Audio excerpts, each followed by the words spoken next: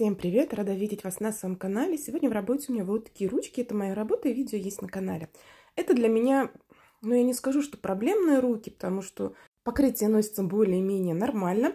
Причем оно стало носиться нормально, когда мы стали делать форму квадрат. Раньше она делала длинный миндаль, причем длина была приличная. У нее сами ноготочки, само ногтевое ложе от природы маленькое, а длину она делала в два, а то и в два с половиной раза длиннее, чем свободный край дела в 2-2,5 раза длиннее, чем само натуральное ложе. Поэтому миндаль носился, конечно же, не очень хорошо, с учетом того, что она еще и на коррекцию приходила раз в месяц, а то и раз в полтора месяца. Естественно, были отслойки, некоторые ногти вообще отваливались. Поэтому в какой-то момент она сказала, давай попробуем сделать квадраты. И, естественно, длинные квадраты ну, мало кто делает, мало кому они нравятся и мало кому они идут. В основном длинные квадраты смотрятся как лопаты. Я не обобщаю, конечно же, есть клиенты, как есть с такими пальчиками, которых действительно длинные квадраты смотрятся очень красиво и гармонично. Но зачастую, если кто-то делает квадраты, то это короткие квадраты, и по сравнению с той длиной миндалей, которые она делала, квадраты здесь, конечно же, намного короче. И она сказала, наверное, квадраты это моя форма, так что давай будем теперь всегда делать квадраты. Но опять-таки ее форма. Если убирать длину, то, конечно же, квадраты будут хорошо носиться. Если делать квадраты той длины, которую она делала миндаль, естественно, они точно так же будут носиться, как и миндаль. В общем, я сняла уже старый материал, придаю форму свободному краю, немного заужаю торцы, заужаю квадраты на, к свободному краю и убираю углы, то есть делаю уголочки мягкими. На этом этапе, на этапе снятия стройматериала и опила поверхности ушло 29 минут. Отодвигаю кутикулу, открываю под кутикульный карман. Маникюр буду выполнять по тальку, наношу тальк, ручками своими втираю в кутикулу и теперь работаю фрезой пламя, пламя с тупым носиком. Здесь достаточно сложная кутикула, хоть она и выглядит обычно, но так она выглядит тогда, когда клиентка периодически, с постоянной периодичностью приходит на маникюр. Если только она не приходит 2 или 3 месяца, все это налипшая кутикула, это резиновая кутикула, с которой сложно работать, Поэтому в этот раз она пришла вовремя на коррекцию, и работа с этой кутикулой проходит более-менее легко. Но чтобы глубоко не лезть, чтобы нечаянно не ткнуть носиком, я работаю фрезой с тупым носиком.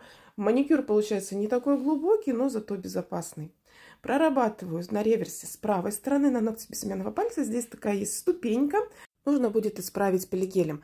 Почему же для меня эти руки проблемные? Да потому что я при всем своем опыте не могу сделать здесь красивые ровные ногти. Не, не знаю почему, но не могу. Тут от природы на каждом пальчике идет разный рост ногтей, и мастера, которые работали с такими клиентами, я думаю, меня поймут. На ногте указательного пальца ноготь не клюет вниз, не вздернут вверх, но при отрастании он уходит влево или вправо, в зависимости от руки. Когда я показывала, как относилось покрытие, было хорошо видно, что ногти прям уходили в сторону. Хотя при коррекции, вот ноготочек смотрится ровненько. То есть при коррекции я стараюсь его выровнять, но при отрастании он всегда уходит в сторону. Маникюр выполнен, и на этом этапе я работаю уже 51 минуту. Наношу грунтовочный слой каучуковой базы. Ноготь на среднем пальце, он шире, чем все остальные и прям-таки взлетает вверх. Ноготь на безымянном пальце намного уже, здесь прям выражена арка. Он смотрится намного уже, чем все остальные ногти. Если оставлять длину такую же, как и везде, то есть именно свободный край, то он смотрится длиннее, чем все остальные ногти. В общем, здесь нужно все корректировать, все подправлять, и как бы я ни старалась, все равно вот идеального варианта добиться не получается.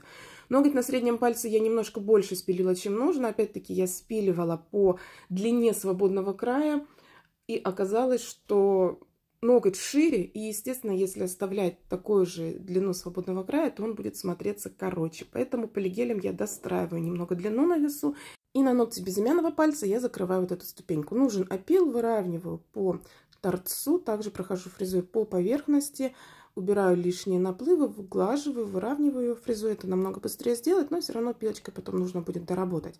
Аккуратненько, не спеша, выравниваю такими вот легкими скользящими движениями. Далее пилочкой придаю форму торцу. Ну, не то, что придаю, просто поправляю. Так как форму свободному краю я придала на моменте опила, а сейчас просто поправляю, выравниваю то, что нужно выровнять после того, как достроила свободный край полигелем. Видите, вот когда я боком поворачиваю руку, прям хорошо видно, как ноготь стремится вверх. Далее убираю лишнее с внутренней стороны, и на этом этапе я работаю уже час и 10 минут. Теперь делаю укрепление гелем. Капельку материала ставлю в зоне апекса и стягиваю кисточкой материал к свободному краю. Так как на свободном краю у меня жесткий материал, я выпиливала с внутренней стороны толщину, естественно, со своим натуральным ногтем, то на торце у меня лежит гель, поэтому там стягиваю прям совсем тонюсеньким слоем, просто для того, чтобы перекрыть. Тоненькой кисточкой поправляю у кутикулы и по бокам, также поправляю на торце, переворачиваю руку ногтем вниз, и вот такие ногти получились. Вот такие ногти у нее от природы. И что бы ни делала, ничего не изменится. Может здесь сделать ноготочки более ровными, более четкими перенаращивание, но не всем клиентам это нужно. Смотрите, какой красивый она выбрала оттенок от Фиора. Невероятный глубокий синий оттенок, прям космос. Наношу на все ноготочки, хорошенько везде прокрашиваю, подвожу к кутикуле. И осталось перекрыть все ногти топом. На работу ушло 2 часа, вернее, час и 53 минуты. Смотрите, как круто смотрится, как мультяшное, да, вот как сейчас популярны корейские дизайны, где мультяшные ноготочки, но здесь даже обводку не нужно было делать, и так смотрится, как мультяшки. Вот такая работа сегодня получилась, вот с такими ногтями я работала. Если вам понравилось видео, обязательно ставьте лайк, мне будет очень приятно. Спасибо, что были со мной до конца, мне на сегодня все. Всего доброго, хорошего дня!